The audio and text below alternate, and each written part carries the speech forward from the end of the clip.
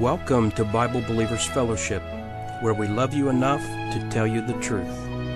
On these programs, you will be able to follow our expository study of the authorized King James Version as we read verse by verse through books and occasionally tackle important topics for the purpose of helping Bible believers gain a thorough and accurate understanding of God's Word. We now invite you to join us in our study. This is not about putting on, it's about being. Didn't that sound deep? That was right off the cuff. I don't even have that in my notes. That's just, I had to say that because it really did sound kind of. But, uh, you know, it really is. That's what it's, you sum it up. We're supposed to be this, not just act it. I've known plenty of people who put on the show of love in front of other people, especially, but behind closed doors and among the closest people in their lives, they didn't show this kind of love. I want to challenge you as we read this. This isn't talking about just you and your coworker or your neighbor. This is talking about the very people you're surrounded by on a daily basis. That's where it should start. And in 1 Corinthians chapter 13, I want all of us to read verses 1 through 3 together. Though I speak with the tongues of men and of angels, and have not charity, I am become as a sounding brass or a tinkling cymbal. And though I have the gift of prophecy, and understand all mysteries and all knowledge, and though I have all faith, so that I could remove mountains, and have not charity, I am nothing. And though I bestow all my goods to feed the poor, and though I give my body to be burned, and have not charity, it profiteth me nothing. That's strong language uh, to uh, remind us that this is not about putting on a mask. And uh, we are in context studying this chapter in the midst of a discussion of the body and the gifts. So don't forget that that he's saying that God gives gifts. God gives you the abilities and opportunities that you have to minister for Him, but it's important that it isn't just something you do, but it's important that you do this with the right motivation. The motivation being what our biblical word here is charity. Now, it's important that we leave that in our text. The new versions have put the word love in there. There's a problem is words mean things. And today the word love does not mean what the Bible means. Today's definition of love is all about me. Today's definition of love is I'll leave this person I'm married to because I just don't love them anymore. What that means is they're not being satisfied right now. Uh, today's love is uh, more of a, a lust. I love you. Why? Because I want something from you. You see how that works? That's the worldly definition of love is serving self. You have something I want.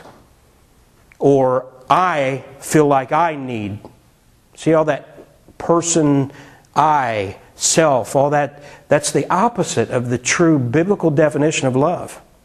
And the biblical de- definition is really this word charity. Of course, we think of goodwill and the Salvation Army when we think of the word charity. But the word charity is a word, again, the old saying is true. Charity begins where? At home. At home. Charity begins around the people you live with on a daily basis. That's where charity begins.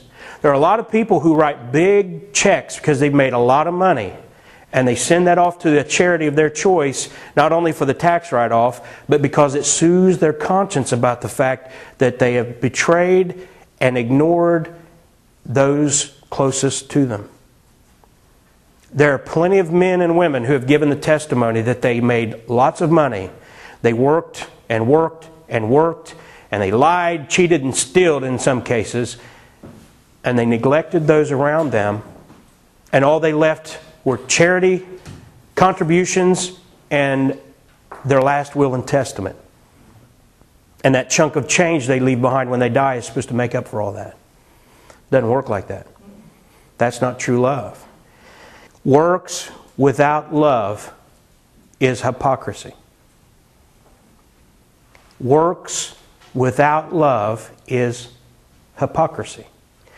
Hypocrisy is a word that is where we actually get the idea of an actor.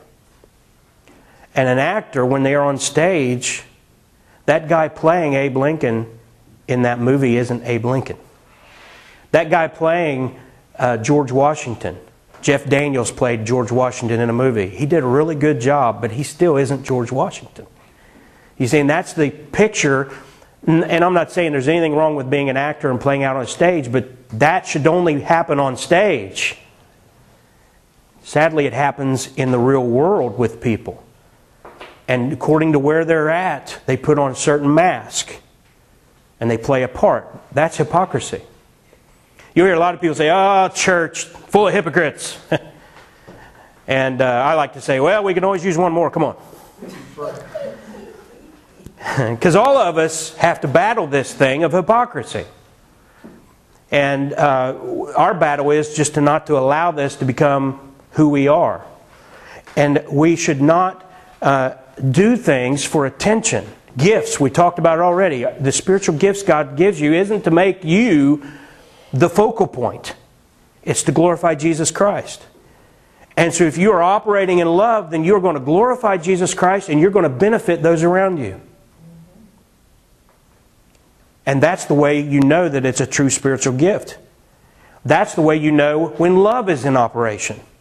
When true love is in operation, people are going to thank God for you and they are going to benefit for having known you.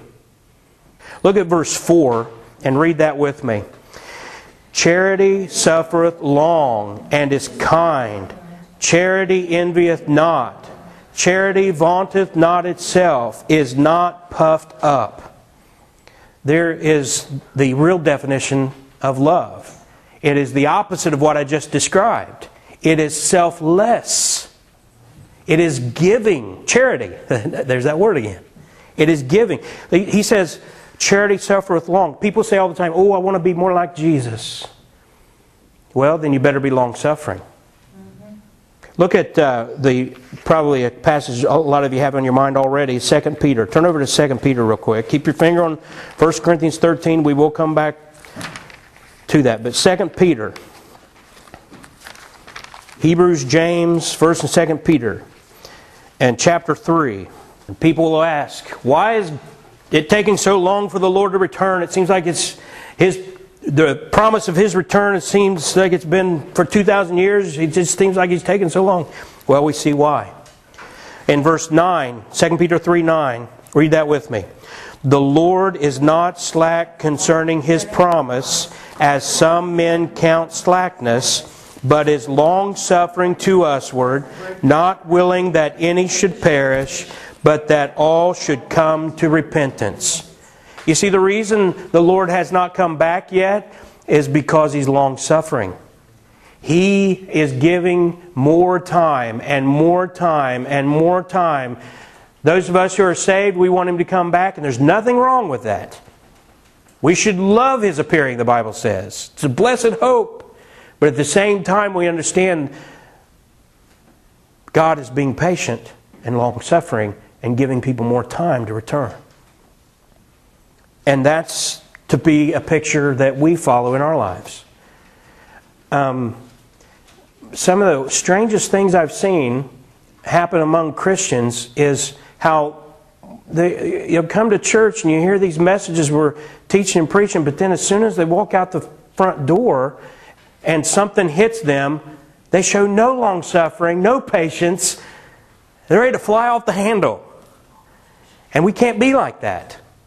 Oh, that's not the attitude that Christ has, not God's attitude. It's the attitude we should have is patience and long suffering. Of course, I'm not standing up here saying, I've arrived, I've got this under, you know, you can just watch me and you'll see how it's done.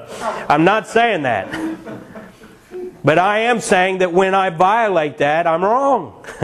when I'm short fused, when I'm not long suffering, then I'm wrong.